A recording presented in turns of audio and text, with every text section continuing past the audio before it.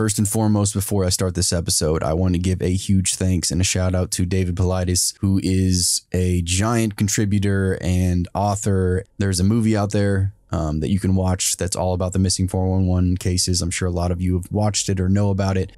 Uh, David Paulides has put a lot of time, effort, and money into these missing cases that are all over the United States in and within these national forests. So I need to make sure that I give credit where credit's due. Links in the description below for you to check out some of those if you haven't yet. And now let's get into these stories.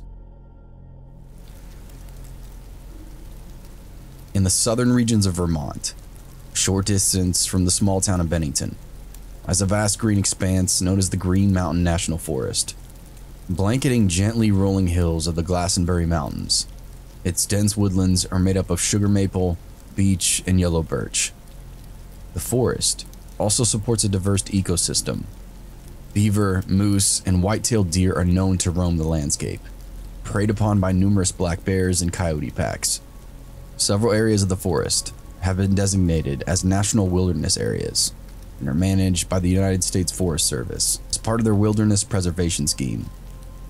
This means such areas are completely off limits to all motorized and mechanical vehicles, including mountain bikes. The name Green Mountain Forest might ring a bell among poetry enthusiasts, as one of its trails bears the name of the award winning Robert Frost. But to others, the forest has a decidedly different reputation, and to this day, some locals still warn against entering those woods alone. Prior to the Revolutionary War, the area surrounding the Glastenbury Mountains remained mostly unsettled. But as the colonies expanded, so did the demand for building materials. To supply that demand, New Hampshire's governor decided to found a lumber camp in the very heart of the Green Mountains, and did so in the year 1761. At first, just six families moved into the camp, but in the years that followed, dozens more arrived seeking employment, and by 1870, the camp was home to 300 lumberjacks and their families. By that time, many believed they were no longer living in a lumber camp, but a full fledged township. The site had already been chartered, so all they needed was a name. They chose Glastenbury. Glastenbury's lumber industry thrived for generations, yet these days, only eight residents reside in what is now a ghost town. The exact reason behind its decline is hotly disputed. Some claim that due to the gigantic regional demand, the area was hideously overlogged, and the residents simply moved on once the work dried up. This is a reasonable assumption, since laborers made up a huge portion of the workplace at the time. Yet such people often settled in a place once they earned a little money, setting up farms and stables on the deforested land. So why did a few of them stick around? Others have argued that an inability to defend themselves from Native American war parties led the lumberjacks to seek prosperity elsewhere. Once again, this is another very reasonable assumption, as raiding parties would have no doubt taken advantage of the dense woodland to launch devastating ambushes against Glastenbury and its citizens. However, one group of amateur sleuths has a much more menacing theory regarding Glastenbury, something that involves what they refer to as the Bennington Triangle. Rumor has it that long before the arrival of English settlers, the local Abenaki tribe used the Green Mountains as a burial ground for their dead, believing that venturing too far into the haunted forest amounted to a death sentence. The natives stayed well away from it when not performing their intricate burial ceremonies. But the same could not be said for the British lumber barons, who instead of seeing a sacred cemetery, saw nothing but an opportunity to enrich themselves even further. One example of the Abenaki folklore surrounding the region tells of a rock which devours those who walk by it. Obviously, this is a physiological impossibility, and the tale was treated as nothing but a ghost story by early English settlers. Yet some complain of eerie silences or unexplained disappearances while out hunting near the supposedly cursed rock, leading many a former skeptic to question the tale's legitimacy. Years later, there was discovered to be an element of truth to that story when geologists found an unusually large number of sinkholes around that rock, believed to have been caused by subterranean water erosion. And the sudden opening of a sinkhole might well account for one or two townsfolk inexplicably vanishing. But even so, Not all the mysterious disappearances can be explained away by mere sinkholes, leading us to believe that something else is going on in that vast and ancient forest. In 1943, a man named Carl Herrick took his cousin Henry on a hunting trip around 10 miles northeast of Glastenbury. The story goes that at some point, Carl walked off into the woods to take a leak. Was never seen again. Henry walked in the woods for a while, calling out his name. He was nowhere to be found. Over the days that followed, a volunteer search party scoured the woods for any sign of him, and eventually, they stumbled across a set of human remains. Many believed the corpse had once been Carl, yet it proved to be extremely difficult to identify. And this is down to how violently and catastrophically the corpse had been crushed. The damage was so extensive that one of Carl's ribs had punctured his lungs. Yet bizarrely, there was nothing in the immediate vicinity of his body that could have caused such a horrifying death. Henry later reported that what appeared to be a large bear track could be seen around the corpse. Yet a bear would never kill by crushing or constriction, nor would it allow fresh meat to spoil in a way that Carl's corpse had. If a bear was indeed to blame for Carl's death, something must have severely spooked it. Just two years later in 1945, the Middie Rivers incident occurred. Rivers was an experienced outdoorsman, and very few people knew the forest around Green Mountain better than he did. But one day, Rivers was heading up a hunting party in a place known as Hell's Hollow when he happened to stray a little too far ahead. Soon it dawned on his fellow hunters that Middie was no longer with them, but none of the hunters showed any initial concern. After all, Rivers was probably the most skilled hunter and tracker that any of them had ever known. It had to be just a matter of time before he found them again, Yet no one ever saw or heard from him ever again.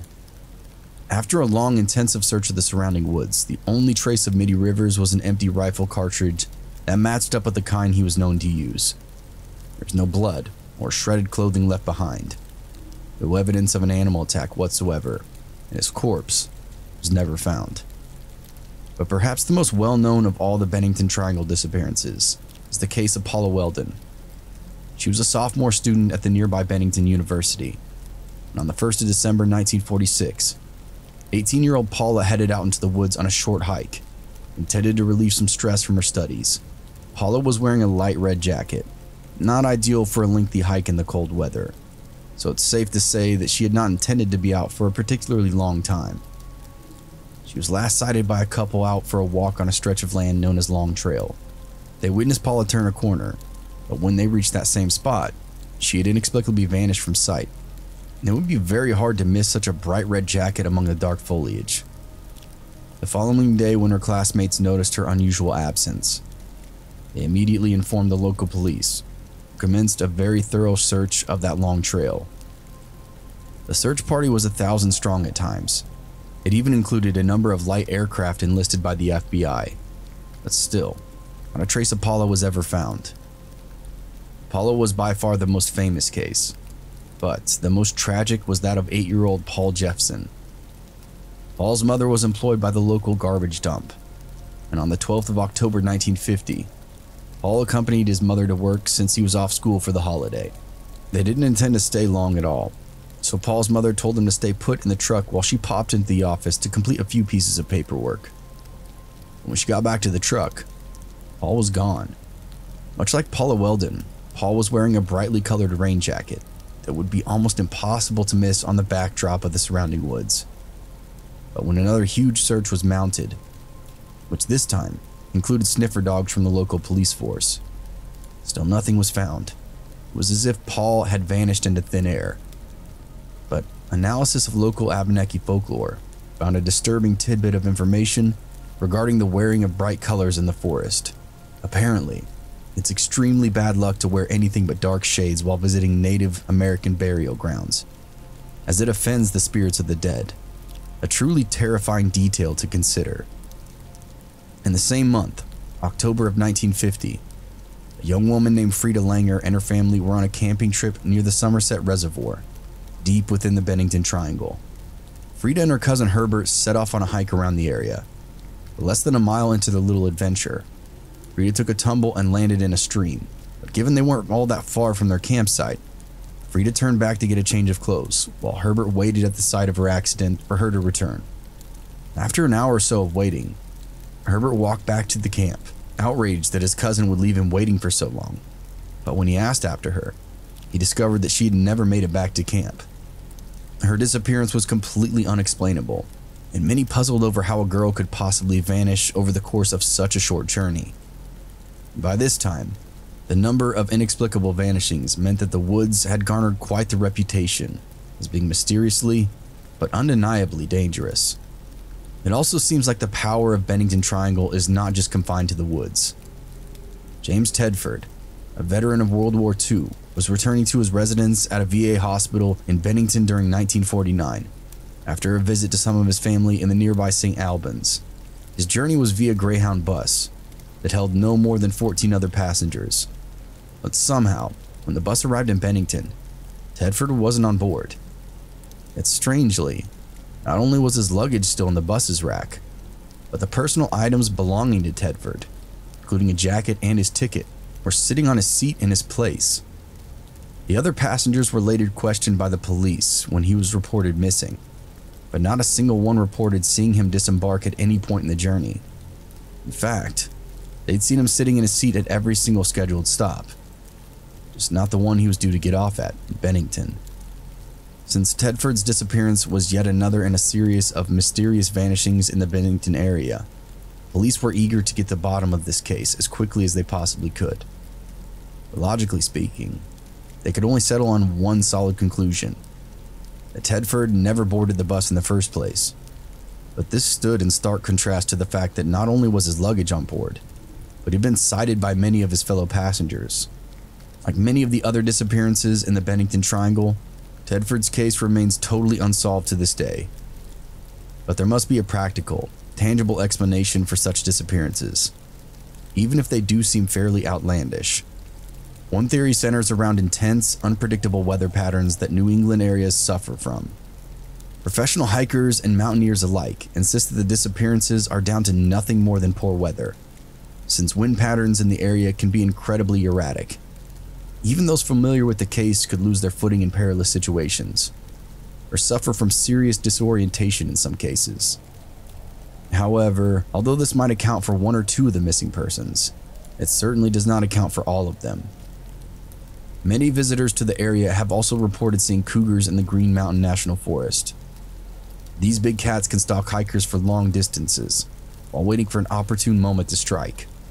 Lone hikers are by far at the most risk, especially during the winter when the mountain lion's natural prey is very scarce, which also happens to be when the majority of the disappearances have occurred. They can weigh more than 200 pounds. A powerful cougar can subdue and kill someone very quickly, but a mountain lion would most certainly leave behind traces of their kill, be it bones or shredded clothing, and in most of the Bennington disappearances, not a single piece of evidence of the unfortunate souls has ever been found. However, another theory one rooted in mental illness, is much more feasible. One story tells a bizarre character by the name of McDowell moving to Bennington in 1892, looking for work at a local sawmill. The man was a solitary, quiet soul, brimming with malcontent, was viewed with suspicion and feared by other workers. Then, a few months after floating from job to job, he got into an argument with the foreman and smashed the man over the head with a hammer before slaying another one that came into the foreman's defense. The man was ranting and raving as local lawmen cornered him into one of the town's taverns. And once he was in custody, he was confined to an insane asylum for the foreseeable future. But the man was wild, violent, and cunning. And it didn't take him long to escape the asylum and into the mountains to hide among their many caves and caverns. Some say the horrendous environment of the asylum, the callous abuse of the orderlies and doctors, had turned him well and truly feral. And every so often, the man would descend from the mountains to terrorize the residents of the town, wearing only a long black coat with a pistol in his hand. McDowell may have been able to prey upon the town's residents during the early 1900s, but by the middle of the century, he would have been a much older man, meaning it's unlikely he survived in the wilderness for such a considerable length of time. Perhaps it'll never be entirely certain what is to blame for the bizarre disappearances in the Bennington Triangle, be it the weather, wild animals, or a deranged serial killer. The area itself is without a doubt one of the most inexplicably dangerous places in the entirety of the United States for those who are unlucky enough to find themselves alone among the trees. It's truly chilling to think that these disappearances might never be solved.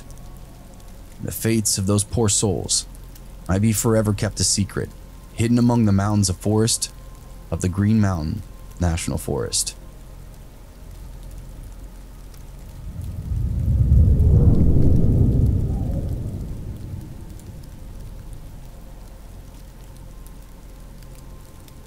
In the early spring of 1978, Stephen Kubacki was 23 years old and a history major at Hope College, located in the small town of Holland, Michigan. Those who knew him viewed Stephen as a highly intelligent but deeply eccentric young man who once designed an intricate electronic security system to prevent theft from the university's library. He was also a huge Dungeons and Dragons nerd, but unlike some of the quieter companions, Stephen was a highly athletic and outgoing. He enjoyed mountain climbing long distance running, and most of all, cross country skiing. One of his favorite spots was up in Oceana County, in the shores of Lake Michigan. He'd ski up there on a handful of previous occasions, and knew the area relatively well. But after a solo skiing trip in February of 1978, Stephen failed to return home. On the Monday he was due back. On the Monday he was due back. Some of his fellow students noted his absence with concern. But if he had indeed spent the past 72 hours traipsing around the frozen wastes of central Michigan, there's a good chance that he needed a recovery day. Yet when Tuesday rolled around and Stephen was still nowhere to be seen, his friends began to realize that something was wrong. It was extremely out of character for Stephen to miss one day of classes, let alone two. So after numerous calls to his apartment went unanswered, a missing persons report was filed with local law enforcement. While members of Michigan State Police were gearing up for what promised to be a long and arduous search, a pair of snowmobilers went up near Saugatuck to make a chilling discovery. Lying in the snow covered field, completely abandoned, was Stephen's backpack. After a search of the surrounding area turned up to no signs of their missing person, the search teams began moving north to a place they believed Stephen's journey might have started. There they found a trail of frozen footprints in the snow, prints that were made by the same size boot as Stephen would have been wearing. The discovery caused a great deal of excitement among the search and rescue personnel, who believed that Stephen's discovery was imminent. Following the trail, they discovered something as horrifying as it was mysterious. The footprints led all the way to the shores of the semi frozen Lake Michigan, and it was here that Stephen's trail suddenly vanished. The direction in which they were headed led many to surmise that, for some reason, Stephen had walked out into the ice, and if he'd been unlucky enough to have it crack and shatter beneath him, there was only a minuscule chance that he was still alive. The search and rescue teams were baffled as to why an experienced outdoorsman would do something so dangerous, but many concluded that he was most likely being pursued. It made sense that Stephen had jettisoned his heavy backpack in order to gain some speed, and perhaps he'd run out into the ice in belief that whoever, or whatever, following him would be deterred without any trace of him or any other of his belongings. There were no concrete conclusions to be drawn, and Stephen's case grew as cold as the ice of Lake Michigan. As weeks turned into months, Stephen remained missing, hope began to dwindle. The college awarded Stephen his bachelor's degree in absence, something they only did for students who had suddenly and tragically passed away. What's more, the Holland Police Department actually had Stephen's dental records sent over to their counterparts in Chicago, in an attempt to eliminate the possibility it had fallen victim to the notorious serial killer, John Wayne Gacy. His ultimate fate remained uncertain, but the vast majority agreed that Stephen was no longer with us. Yet in reality, he was very much alive. Sometime later, Stephen awoke in the darkness and found himself laying on a patch of grass in a place he wasn't familiar with. It took him a minute or two to regain his senses, he quickly realized he was not only in an unfamiliar place, he was wearing unfamiliar clothes. He remembered the skiing trip, but none of his equipment was anywhere to be found. And what's more, it was warm outside. Stephen's last memories were gliding through the snowdrifts of central Michigan. Yet suddenly, it was warm enough to sleep outside wearing little more than a t-shirt. A deep breath kept panic at bay, and after gathering up what were apparently his belongings, Stephen approached a passing stranger to ask where they were. Pittsfield, came a reply from the visibly puzzled stranger. Stephen believed the stranger was referring to the suburb of the South Ann Arbor, which was known for its golf course and municipal airport. But he was still perplexed as to how he'd gotten there in the first place. When asked if everything was okay, Stephen reassured the concerned stranger, voiced his confusion at his sudden appearance on the opposite side of Michigan's peninsula. His response caused the stranger to become even more perplexed. Stephen wasn't in Pittsfield, Michigan. He was in Pittsfield, Massachusetts. It's difficult to imagine the kind of fright that Stephen experienced in those moments, realizing he traveled hundreds of miles without a single memory of it. But the real terror didn't set in until he saw a copy of the local newspaper. It wasn't the headlines that caught Stephen's eye, it was the date. He'd started his journey back in February of 1978, but the date on the newspaper read May 5th of 1979. After suffering through a period of complete and utter shock, he managed to compose himself, begin brainstorming solutions. He remembered that he had an aunt in Great Barrington, a small town just a few miles from where he'd found himself. After hitchhiking out to her place, he walked up the driveway and knocked on the door. It was like seeing a ghost, she later said. We all thought he was gone, so to suddenly just see him one day right there on my doorstep was a very emotional occasion. The news of Stephen's return captured the attention of news agencies around the globe, who dispatched correspondents to uncover the truth behind his mysterious reappearance. Meanwhile, the Holland Police Department helped Stephen organize a press conference, and he used the opportunity to answer many of the public's burning questions. But unfortunately, many of his responses raised more questions than they answered. For example, when he asked about the belongings he had with him when he woke up, Stephen talked about the contents of his backpack. A backpack he had no memory of acquiring. It was filled with all the accoutrements of travel and survival, suggesting that he traveled extensively over the previous 15 months. He was in possession of souvenirs from Chicago, Nevada, Northern California, meaning that journey would have spanned the entire continental US. Stephen also mentioned that he felt as if he'd done a lot of running, something which was corroborated by a t shirt found in his possession. The t shirt was a piece of memorabilia from a marathon that had taken place in Wisconsin. And we've already established that Stephen was a passionate distance runner. But is it possible that he took part in such a grueling event and walked away with no memory of it whatsoever?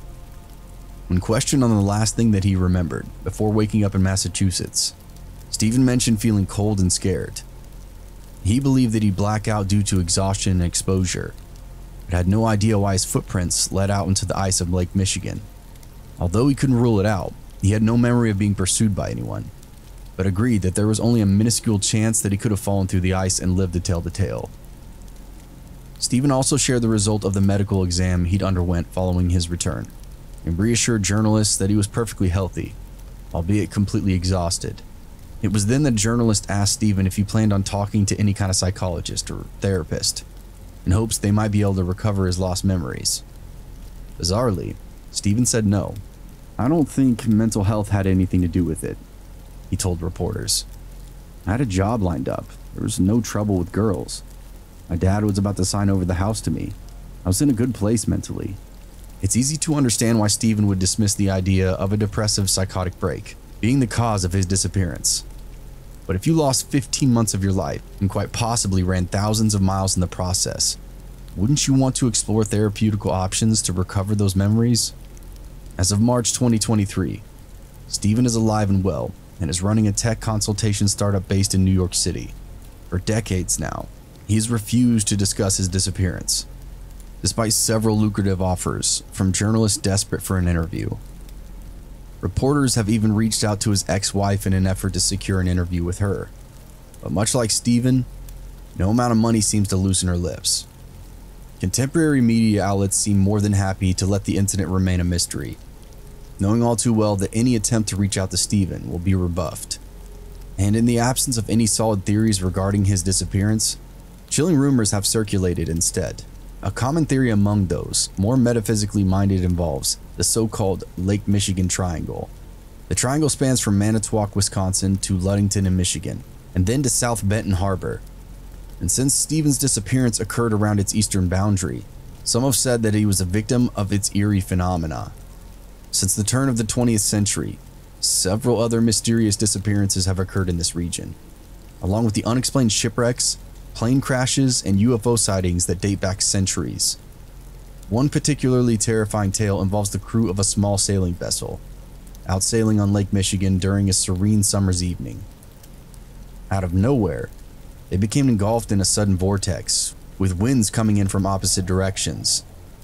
The ship was turned this way and that, and would have surely capsized if the freak winds hadn't suddenly abated. UFO chasers believe that alien visitation is to blame for some of the incidents, and some have suggested that Stephen has no memory of his absence because he was abducted. In more practical terms, a freak storm might have caused Stephen to slip and fall, causing a head injury so severe it caused a psychotic break. But if that was the case, why did his medical exam find him to be in near perfect health? Time after time, attempts to logically explain Stephen's disappearance fell flat in the face of mind bending anomalies, to the point where even the skeptical mind begins to wonder if something inexplicable is afoot. In recent years, it emerged that Stephen once attempted to retrace his steps near Lake Michigan, hoping it might jog his memories of the day he went missing. If he remembered something, he certainly didn't share it in print, even though doing so would have made him a very wealthy man. And that raises two very important questions. Has Stephen remained silent regarding his disappearance because it's still a mystery to him? Or has he since remembered something so shameful or terrible that he can't possibly bring himself to talk about it? Such talk will never amount to more than speculation. And considering there are many similar cases, it's very possible that he suffered a highly terrifying but natural phenomenon. Yet such mysteries will always plant seeds in fertile imaginations. And for some of us, it's difficult not to wonder if something much more sinister is lurking beneath the waves of the Lake Michigan Triangle.